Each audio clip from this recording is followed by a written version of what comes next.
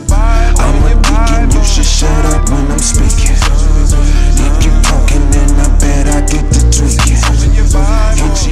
I got started because my OG, right? My OG and my brothers. You know what I mean? My OG had a dope uh, record collection when I was a shorty. So that was that was my first introduction to music introduction to music. You know, them house parties at the crib, you know, my OG had a spot. You know, everybody used to go to my mama crib and kick it. You know, everybody come over there and kick it. So I always loved the, the music and how it just, you know, the ensemble and the ambience that it, it, it created for everybody.